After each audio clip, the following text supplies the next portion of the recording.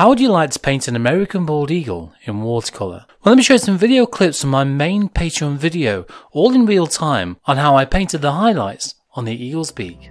Let's get started.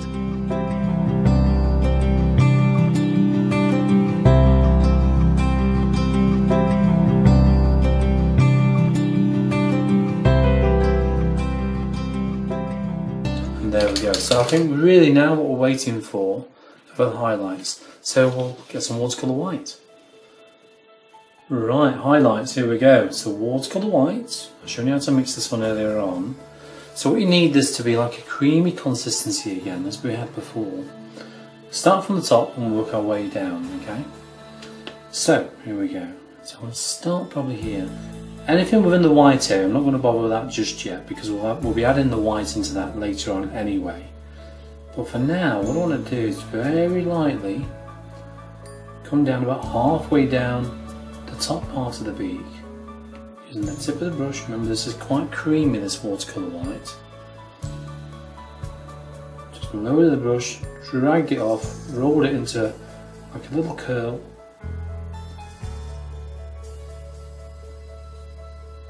All the way down. I said before, if you haven't got watercolour white, you can use uh, white gouache or gouache. Not a problem at all, you can use that one. You can even use white acrylic paint. Now, as I said before, white acrylic paint will be more permanent, so you won't be able to take it off. Whereas if I wet this, I can lift it back off again. Acrylic paint, you can't really do that with, once it's on, it's on there for good. if you want to scrape it off, is. But you can float colour over the top of the acrylic paint, is what I like to do sometimes, you know, because really, if you want a very vibrant colour, if this was white acrylic and I put yellow over the top of this, that yellow would be very bright. Because the acrylic is an opaque um, kind of medium, which will just cover on the top. But anyway, in this case we're using watercolour white, there you go. Now every now and then I'm going to put a small mark here and there I've also noticed as well, just by the beak here, coming out this way, it's a little bit lighter. So I'm going to put a bit of watercolour white in there, dragging the brush over the paper now. This is nearly dry, so make use of it. So we've got a little bit of a kind of light spot going on. And then around the very edge of here, I'm going to tap this time around there. It's not a solid white line, just tapping. Bring it together. Okay, try not to overdo the white as well because it's so easy to put too much on. It really is. Just the very tip of the brush. Going down to the, the bottom of the beak or the tip of the beak. Looking at the shape, you don't want it too long, you don't want it too square, you don't want it too pointy. Now this actually comes quite white around the tip there, so it's quite pale, isn't it?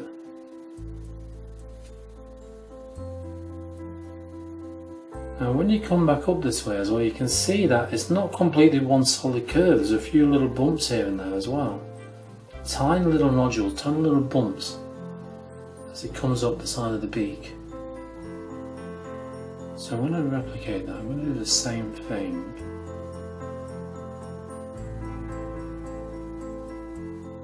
To there. Let's get some more. Same again about there. Just bring that over. Looking at the shape, especially the angles as well. Making sure we get the angles just about right. Now I can also see, just around this area, it's a bit of a hook, and a little curve like that. There's a couple of light ones coming through. And there as well. And there's even one going across. There's a few more here and there.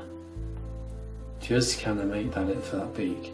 So what we need to do is do exactly the same now for any other areas. Now, there aren't as many highlights on this side of the beak, but you want to put a few in here and there, like below the nostril. Not too much, don't overdo it. Remember, the more water that you add to your watercolour white, the lighter or paler it will dry. So you know, in other words, if you want it to be just subtle, have it quite watery. Okay, so I'll carry on with that, and I'll see you shortly when that bit's done. And uh, I'll put a little bit of music to it. All right, so see you in a minute.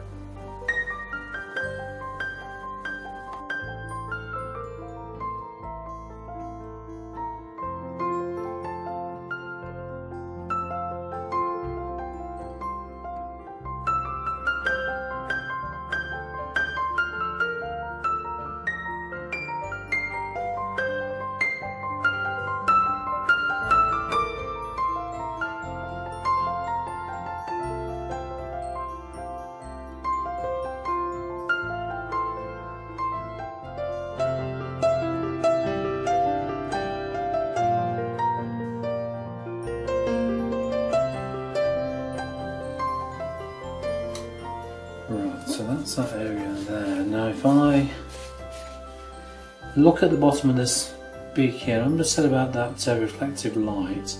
Still see some of it there, but I want to make sure a bit more defined. So a damp, clean brush, all I'm using.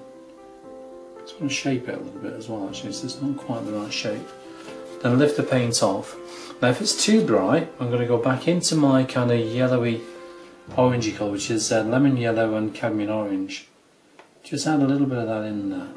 Alright, so then you've got that kind of nice little kind of secondary reflective light.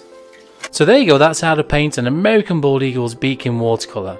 Now if you fancy having a go at this and working on a complete video tutorial, I'll guide you through step by step showing you a variety of techniques on how to do that. I'll also give you the outline drawing, the PDF guide and the photograph to work from as well. To find out more, just simply click on the links below. And remember to click on like, subscribe and share, and of course you can always comment down below as well. Now the question of the day is, what's your favourite colour and why is that? Let me know, put it in the comments below, and I'll talk to you all again very soon.